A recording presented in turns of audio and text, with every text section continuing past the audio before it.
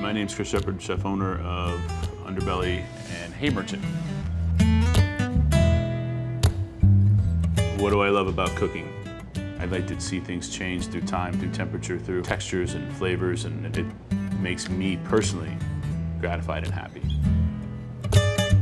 I love a burger.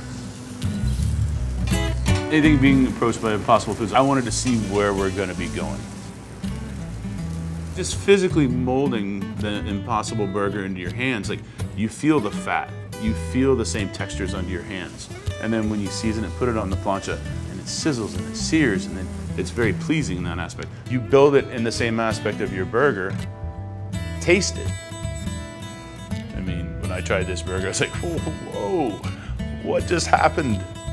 Like everything involved into it makes sense to me.